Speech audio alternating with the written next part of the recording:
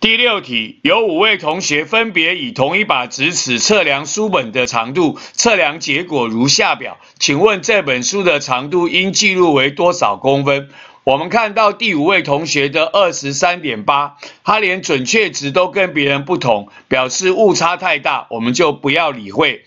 而前面四位同学准确值都是二十，估计值零点四、零点一、零点三、零点四，加起来是一点二。有四位同学一点二除以四就是零点三，所以呢，前面准确值是二十，加一个估计值零点三，所以二十点三。所以呢，我们第六题问，请问这本书的长度应记录为多少公分？我们答案选的是 B，二十点三公分。